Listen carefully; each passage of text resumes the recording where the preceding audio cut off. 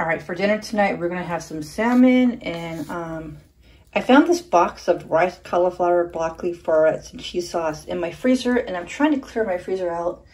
I just have so much stuff in there and I can't really buy any more food. I can't buy any meat, can't buy any ice cream, so I wanna clear my freezer out. So I'm gonna have this with it and a salad and I'll be making the salmon in the oven. This is probably gonna be the best salmon you've ever had. No joke, it's really good if you if you're a long time subscriber, you probably saw my videos, my salmon videos on my Eat with Karen channel.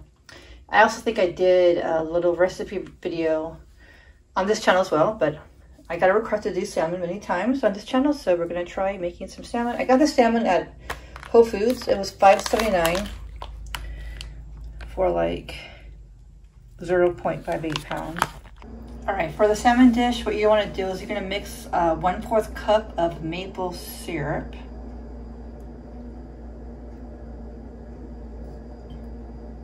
You're also gonna mix two tablespoons of soy sauce.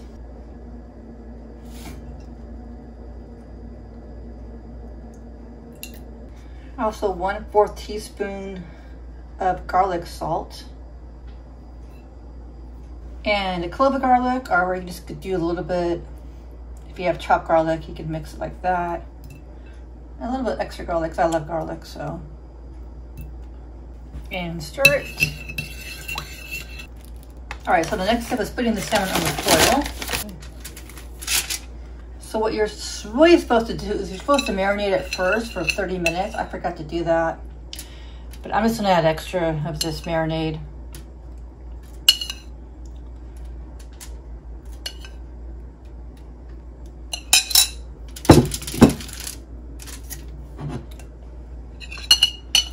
Fish is really big. I don't usually get salmon this big. So I might have to have some for the next day. Something. But then I'm, right, yeah. So right now I'm just putting this marinade all over the salmon. As much as possible because, and as you can see, there's a, like a lot of garlic right here. You want a lot of garlic. Well, if you like garlic.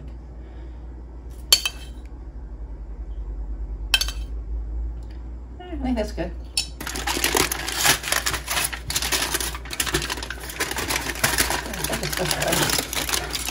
This is gonna make a mess. Oh my god.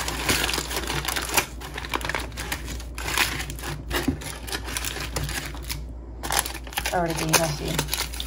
So when I put it in the oven, I have foil underneath it, so if it does spill or something like that, the oven won't make a much of a mess. So we're gonna bake it for 400 degrees for 20 minutes. All right, now we're gonna start on this simple steam, steam rice, cauliflower, broccoli cheese. Looks really good. I haven't had this before, so it'll be something new to try. It looks like recommended method. You're supposed to remove it from the carton and microwave for about five minutes. All right, for the salad we're gonna use, it's a sweet kale chopped salad. I did add fresh beets to it. Also includes this nuts, cranberries, so it should be good. All right, I just microwave this. It looks like it has some cheese sauce, rice, broccoli. I guess the rice is like a cauliflower rice. I had a little bit, it's actually really good. All right, looks like it's done. You see how that juice is right there? Yeah, this is good, guys. This is good. All right, here's my dinner, salmon, broccoli, rice, cheddar, and the salad. Looks good. All right, guys, welcome back to my channel. I brought a little microphone. I want to try it out to see if it actually helps the sound or not. We have the salmon, we have the broccoli, cheddar, rice, and we have the salad. All right, let's try this salmon right here.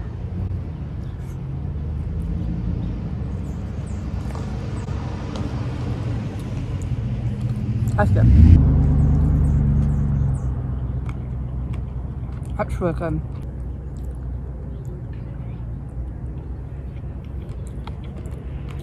And we're drinking water to drink. I haven't made this in a while, but normally you're supposed to, um, after you mix the sauce and you put it on the salmon, you're supposed to like marinate it for 30 minutes in the refrigerator. I forgot to do that. Usually I'll get like a plastic bag. But like I said, I forgot to do that. But if you do this recipe, I would recommend that. It's probably, it will be, taste better. but it's still really good.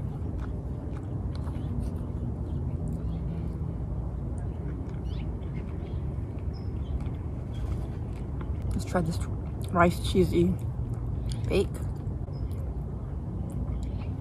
Mm -hmm.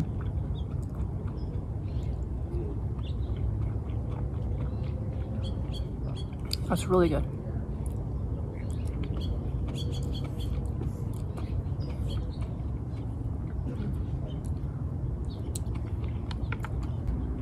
So normally when I do my salmon dinner it's usually a baked potato with broccoli, usually and salmon.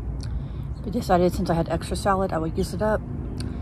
And I wanted to clear my freezer space, so I got this rice broccoli cheddar thing. Don't normally have this as a vegetable side. I just thought I would just use it up since it's in the freezer. Try this salad. So I've been filming more outside. I think people have been requesting more outside videos. Plus with the refrigerator going on in my kitchen, I think it's better. I can do before dark time, which I think I can.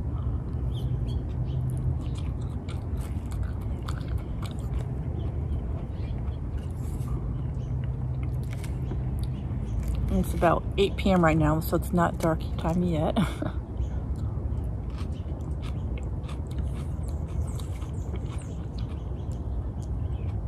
so this Sunday is my last day at Walmart. I'm super excited.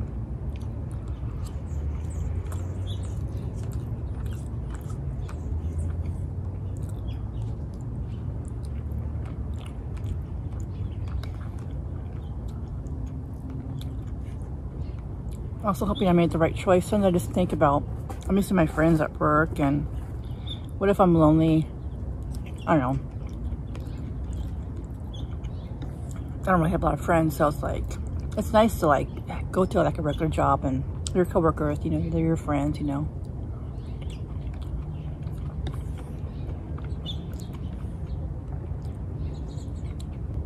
So this coworker doesn't think I should quit. She thinks, you know what, you should, you should just take a leave of absence. That's what I did. I needed to break. And she could be right. But I guess I'm just taking a chance.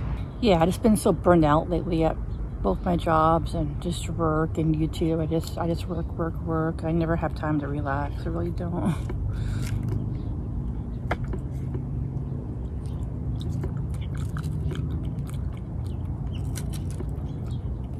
after I eat this, I'm gonna put my video on YouTube. I edited it last night.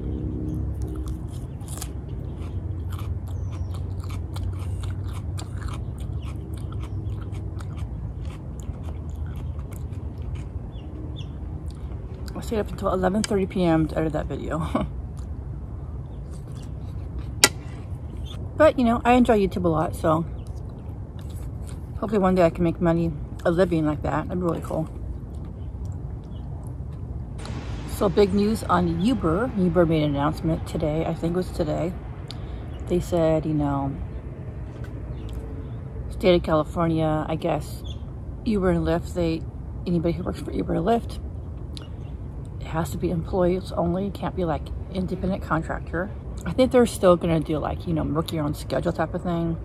I was really concerned because that was one of the reasons why I'm quitting Walmart to try something different. So I wanted to try Uber Eats out and do food delivery and just, so, you know, all these YouTubers are making all this money. I wanted to see if I could do it and I might be more happier than working at Walmart, you know. But I found out today that I saw one YouTube comment that said it doesn't affect Uber Eats. So that's cool. If it doesn't affect Uber Eats, I'm happy. If not, I can go back to Uber. I can go back to Postmates, I guess. They just don't take very well on the Postmates.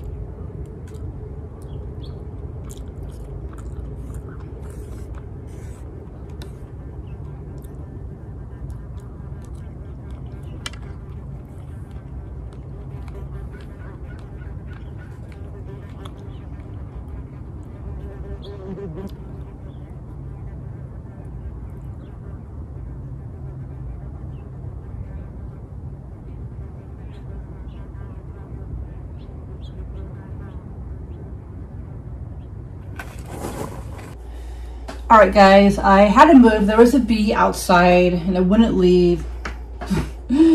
Sucks. Not the best setup, but whatever.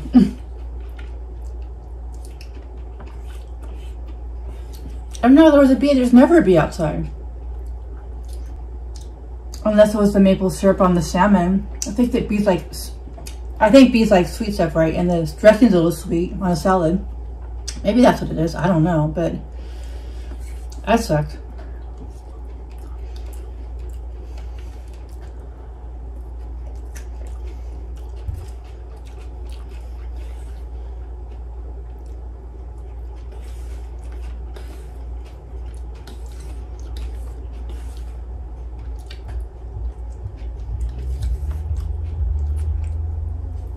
It's kind of hard to film outside. Everybody's like looking at me.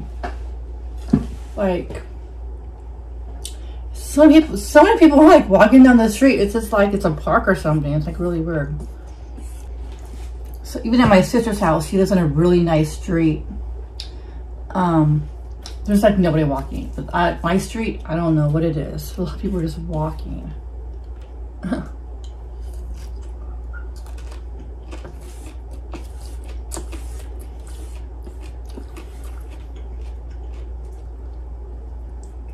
I think you can see the food better than outside, I think. I'm not sure. I have it tilted this way so you won't see my messy pout kitchen on that side. It was like, man. It is so hot today. It's just hard to clean it's so hot, you know?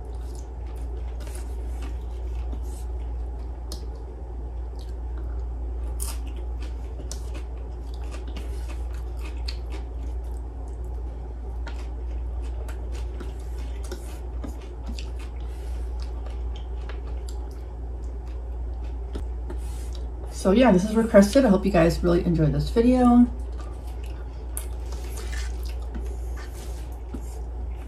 What else should I make for you guys? Let me know.